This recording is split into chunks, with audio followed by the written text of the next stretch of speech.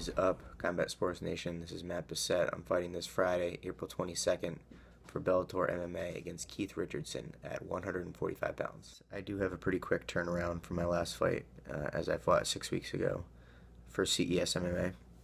Um, I knew that I was going to be fighting on this Bellator card uh, maybe like a month before I even signed the contract for CES. So um, it was always the goal to um, whoever I was fighting, get in there, beat them up, and uh, heal in a few days, and then come back and be prepared for my Bellator fight. So um, you know, it was a quick fight against Tori, and I came out unscathed. So uh, yeah, looking to do the same thing against Keith.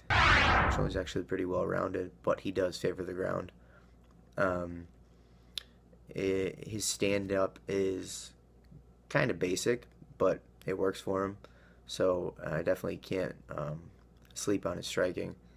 Uh, that being said, um, I feel like my jiu-jitsu is better. My striking is much better. Um, he's got a wrestling background. I believe he was a state champion when he was in high school, uh, which is good for him. But you know, this is MMA, and um, a state champion in high school only gets you so far. So, um, and I'm sure he knows that. So, um, yeah, it's going to be a good fight. He's not going to come out there and just try to grab me and wrestle me for three rounds. Um, I think that would be a a big uh, mistake on his part. But um, you know what? I mean, we'll, we'll see how it goes. He, he, like I said, he's he's tough everywhere. Uh, I just feel like I'm a little bit better. So the game plan against Kama was to take it to the ground and submit him. Um, he was just so long that it was like it was really tough to get inside and actually do that. So I was like, all right, you want to stand? We'll stand. And uh, that's kind of what happened with that one. As far as Roddy, Roddy pulled guard, and I couldn't really even strike with the guy. Guy pulls guard, he doesn't want to strike with you. Um, and I ended up submitting with the heel hook there. And uh, Tori, I, I saw the neck, I went for the neck, and I ended up on bottom. And uh, you know, I saw the triangle, I got the triangle. So it's it's whatever's there. Um, I don't try to push anything um, because I feel like if you try to force something, it tends to not happen. So, I mean, if Keith leaves his chin out there, uh, I'm to smack him um, or kick him or knee him or elbow him. I'm going to attack his chin. Um, if he leaves his liver out there, I'm going to attack that. Uh, if he decides he wants to go to the ground and a scramble ensues, takedown, whatever, goes to the ground, I'm going to look for the submission. I'm always looking to finish. So, uh, yeah, I mean, it could end up standing uh, or or it could, it could end standing or on the ground. Um, but if I get the submission against another submission guy, you're gonna be like, all right, you're just picking on guys.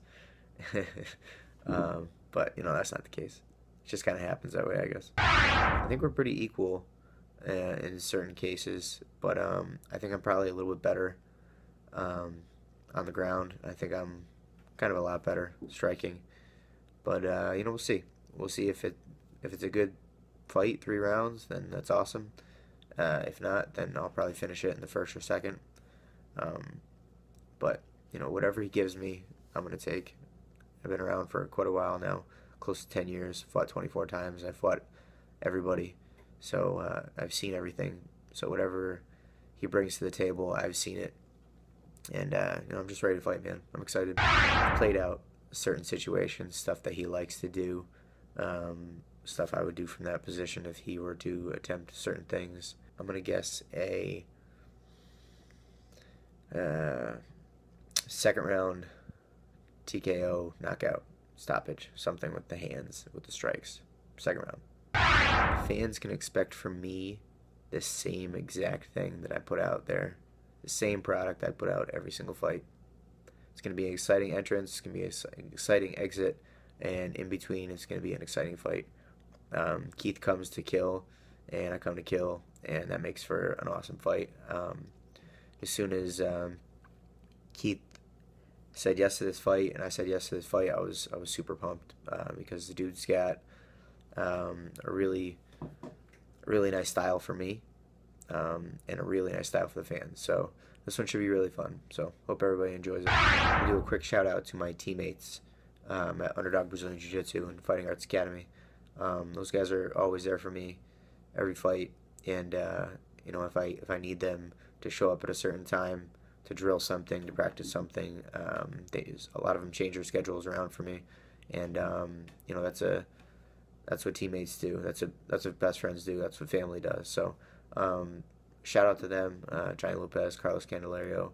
Those two guys uh, have made a big difference for me for this training camp, um, and my coach Russell Leak, who is um, the backbone over at Underdog Brazilian Jiu Jitsu, and he holds things together really well. And um, you know, shout out to him. Thank you for always being there, my friend. Uh, thank you to my fans. Um, I love you guys.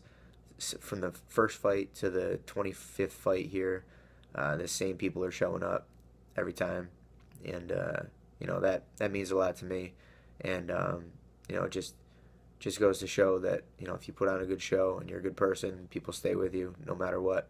I've had seven losses. I'm not gonna have an eighth loss, and um, you know Friday's not gonna be any different when I get out there. It's gonna be you're going to see the Mangler. You're not going to see Matt Bessette. You're going to see the Mangler. Peace out, guys. Thank you.